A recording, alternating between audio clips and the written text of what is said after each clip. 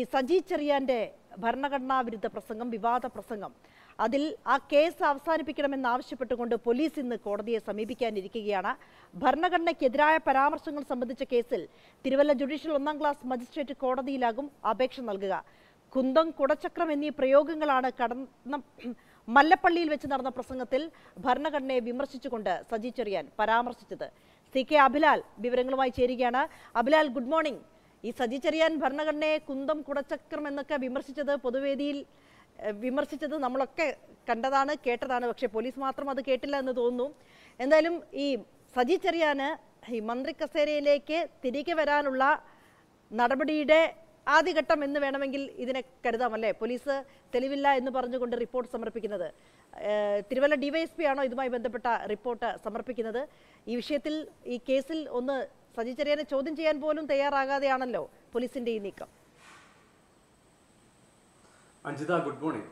നിയമം വഴി സ്ഥാപിതമായ ഭാരതത്തിന്റെ ഭരണഘടനയോട് നിർവ്യാജമായ വിശ്വസ്തതയും കൂറും പുലർത്തും. ഇതാണ് സജി ചെറിയാൻ അടക്കം നിയമസഭാ അംഗങ്ങൾ അത്തരത്തിൽ അധികാരത്തിലേക്ക് എത്തുന്ന വേളയിൽ പറഞ്ഞിട്ടുള്ള മുദ്ര പിന്നെ സത്യപ്രതിജ്ഞാ വാചകം. ഒപ്പം തന്നെ മന്ത്രിസ്ഥാനത്തേക്ക് എത്തിയപ്പോൾ ഇത് അദ്ദേഹം ആവർത്തിക്കുകയും ചെയ്തിട്ടുണ്ട്. എന്നാൽ പിന്നീട് പൊതുവേദിയിൽ ഭരണഘടനയെ തള്ളിപ്പറയുകയും ആക്ഷേപിക്കുകയും വിമർശിക്കുകയും ചെയ്തിട്ടുണ്ട് എന്നുള്ളത് അദ്ദേഹത്തിന്റെ പ്രസംഗ ഭാഗങ്ങൾ കേൾക്കുന്ന ഏതൊരാൾക്കും വ്യക്തമാകുന്നതുമാണ്.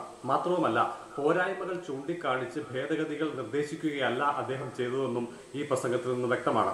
നാക്കുപിഴയെന്ന ഉള്ള തരത്തിലേക്ക് ആദ്യഘട്ടത്തിൽ പാർട്ടിയുടെ ഭാഗത്തു നിന്നടക്കം പ്രതികരണങ്ങൾ വന്നെങ്കിൽ പോലും ആദ്യ ഭാഗത്ത് പറഞ്ഞ ചില വിമർശനങ്ങൾ പിന്നീട് അദ്ദേഹം ആവർത്തിക്കുകയും ചെയ്യുന്നുണ്ട്. അപ്പോൾ തന്നെ പാർട്ടിയുടെ ഭാഗത്തു നിന്നും സജി ചെറിയാന്റെ ഭാഗത്തു നിന്നും ഒക്കെ തന്നെ വന്നിട്ടുള്ള ന്യായീകരണങ്ങളൊന്നും തന്നെ മുഖവിലേക്ക് എടുത്തുകൊണ്ട് ഈ വിഷയത്തെ കാണാൻ കഴിയുകയില്ല എന്നുള്ളതും വ്യക്തമാണ്. എന്തായാലും ഈ കേസിന്റെ അന്വേഷണം ഏറെക്കുറെ നാല് മാസം പിന്നിട്ട് അഞ്ചാം മാസത്തിലേക്ക് കടക്കുന്ന ഘട്ടത്തിൽ കേസിൽ ആരോപിക്കപ്പെടുന്ന തരത്തിലുള്ള കുറ്റങ്ങൾ അതായത് ആയിരത്തി തൊള്ളായിരത്തി എഴുപത്തി ഒന്നിലെ insult to national honour act പ്രകാരം ആരോപിക്കപ്പെട്ടിട്ടുള്ള വിഷയങ്ങളൊന്നും തന്നെ നിലനിൽക്കുന്നതല്ല. അത് സജി ചെറിയാനെതിരെ തെളിയിക്കാനാകില്ല എന്നുള്ളതാണ് പോലീസിന് ലഭ്യമായിട്ടുള്ള നിയമോപദേശം. ഇതിന്റെ അടിസ്ഥാനത്തിൽ തുടർ നടപടികൾ തുടർ റിപ്പോർട്ട് തയ്യാറാക്കിക്കൊണ്ട് തിരുവല്ല ഡിവൈഎസ്പി ഒരുപക്ഷെ തിരുവല്ല ഡിവൈഎസ്പി നേരിട്ടോ അതല്ലെങ്കിൽ അദ്ദേഹത്തിന്റെ പ്രത്യേക ദൂതനെയോ ആയിരിക്കും ഇന്ന് കോടതിയിലേക്ക് അയക്കുക. ഏറ്റവും ഒരു കാര്യം ചോദിച്ചോട്ടെ? അതായത് ഇപ്പോ ഈ സംഭവം നടന്നിട്ട് അഞ്ചു മാസമായി. കേസെടുത്ത ശേഷം ഇതുമായി ബന്ധപ്പെട്ട് സജി ചെറിയാനിൽ നിന്ന് എന്തെങ്കിലും കാര്യങ്ങൾ ചോദിച്ചറിയാൻ പോലീസ് ശ്രമിച്ചിരുന്നോ. വേണമെങ്കിൽ അതായത് മല്ലപ്പള്ളി ഏരിയ കമ്മിറ്റി അവരുടെ ഫേസ്ബുക്ക് പേജിലാണല്ലോ ആദ്യം ഈ പ്രസംഗം അപ്ലോഡ് ചെയ്തത്. പിന്നീട് അത് പിൻവലിക്കുകയും ചെയ്തു. ഏഹ് പോലീസിന് മുന്നിൽ എന്തൊക്കെ സാങ്കേതിക വൈദഗ്ധ്യമുണ്ട് അതൊക്കെ വീണ്ടെടുക്കാൻ അതിനുള്ള നടപടിയിലേക്ക് പോലും കടക്കാതെ ഒരു കുറിപ്പ് എഴുതുകയായിരുന്നു എന്ന് വേണം ഈ ഘട്ടത്തിൽ കരുതാൻ.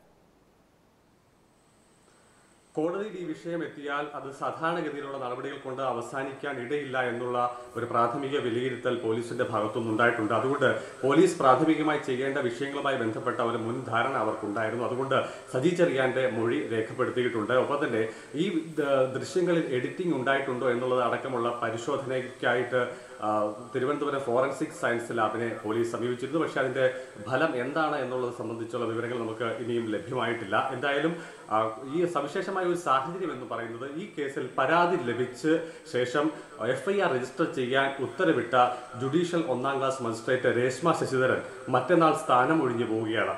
അതിനു മുൻപായി അതീവ രഹസ്യമായി റിപ്പോർട്ട് സമർപ്പിച്ചുകൊണ്ട് നടപടികൾ ഒതുക്കി തീർക്കാൻ വേണ്ടി അല്ലെങ്കിൽ നടപടികൾ അവസാനിപ്പിക്കാനായിരുന്നു പോലീസിന്റെ ശ്രമം. പക്ഷേ വളരെ യാദൃശ്യമെന്നോണം ഇതിന്റെ വിവരങ്ങൾ പുറത്താവുകയായിരുന്നു. സാധാരണഗതിയിൽ ഇത്തരത്തിൽ പോലീസിന്റെ ഒരു റിപ്പോർട്ട് നിയമോപദേശത്തിന്റെ അടിസ്ഥാനത്തിൽ ലഭ്യമാകുന്ന സാഹചര്യത്തിൽ തുടർ നടപടികൾ ഒക്കെ തന്നെ അവസാനിപ്പിച്ചുകൊണ്ട് പോലീസിന് മുന്നോട്ട് പോകാനുള്ള നിർദ്ദേശമാണ് സാധാരണഗതിയിൽ കോടതിയിൽ നിന്ന് ലഭ്യമാവുക.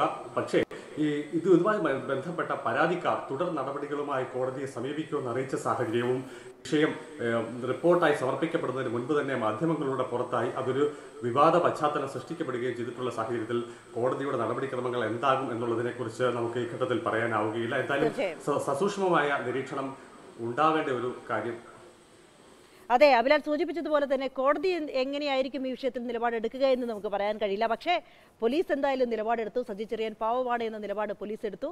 ഈ ഭരണഘടനയെ വിമർശിക്കാൻ അല്ലെങ്കിൽ ഭരണഘടനയുടെ പോരായ്മകൾ ചൂണ്ടിക്കാണിക്കാൻ എല്ലാവർക്കും കഴിയും. പക്ഷേ ഭരണഘടനയെ ഈ തരത്തിൽ ഭരണഘടന തൊട്ട് സത്യപ്രതിജ്ഞ ചെയ്ത് അധികാരമേറ്റ ഒരു മന്ത്രി ഇപ്പോൾ മന്ത്രിയല്ല ആ ഒരു സമയത്ത് ഈ തരത്തിൽ ഭരണഘടനയെ കുന്തം കുടച്ചക്രം എന്നൊക്കെ വിളിച്ച് അധിക്ഷേപിക്കുന്നത് ഭരണഘടനാ വിരുദ്ധ പരാമർശമല്ല എന്ന തരത്തിലൊരു കണ്ടെത്തലിലേക്ക് പോലീസ് എങ്ങനെയാണ് എത്തിയത് എന്നറിയില്ല. എന്തായാലും പോലീസ് സജി ചെറിയൻ പാവം എന്ന രീതിയിൽ കോടതിയിൽ റിപ്പോർട്ട് നൽകുന്നു. ഇനി കോടതി അതിൽ എന്ത് നടപടിയെടുക്കും എന്നുള്ളതാണ് കാത്തിരുന്ന് കാണേണ്ടത്. റിപ്പോർട്ട്